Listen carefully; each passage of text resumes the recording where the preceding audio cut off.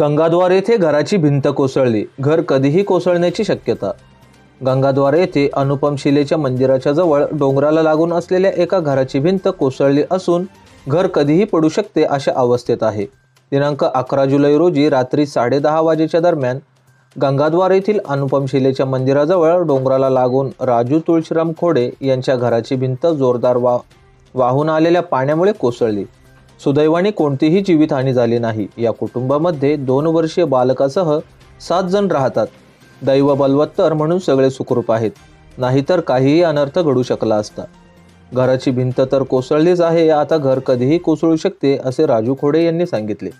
या भागात जवळजवळ पन्नासच्या आसपास घरे आहेत. यांचा सुरक्षेचा प्रश्न सध्या उपस्थित होत आहे. संबंधित कुटुंबास नुकसान भरपाई द्यावी तसेच येथील रहिवाशांच्या सुरक्षेच्या दृष्टिकोनातून शासनाने उपाययोजना करावी अशी मागणी स्थानिक रहिवाशांकडून होत आहे. दरम्यान मेडघर किल्ला ग्रामपंचायत हद्दीत असलेल्या गंगाद्वार येथील रहिवाशांचे स्थलांतराविषयी प्रशासन काय भूमिका घेणार याकडे सर्वांचे लक्ष लागले आहे.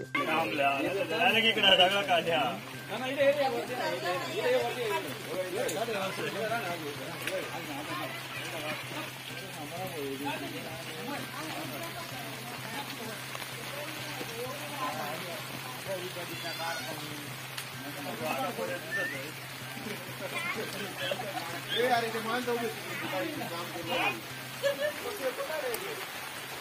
अपने बीच में लाओ तो वही मान ये कारण नाम है ऐसे सब गाड़ी है